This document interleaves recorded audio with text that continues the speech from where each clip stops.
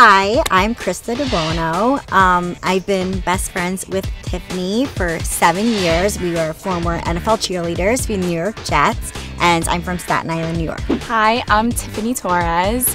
Um, I am currently a consultant for physician in healthcare, and I live in Union, New Jersey.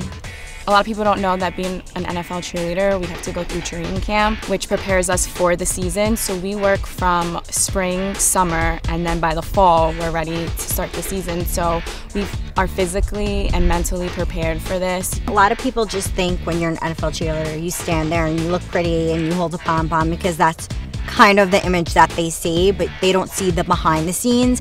And going through a training camp for the NFL was one of the hardest experiences mm-hmm. of my life. we're super and funny, and that's what we super, definitely want to come off. Like, I want people to see how yeah. funny we are together, especially because we're completely opposites. Yeah. So, you know, she's more of the firecracker, I'm more reserved, but then there's times where I have to, like, say, Krista, it's time to, like, focus, like, all right, calm down. Like, yeah. If you say no, she'll do it. If you say yes, she'll still do it. yeah, and I just think it's it's obviously our personality. We're very very outgoing. We're very funny.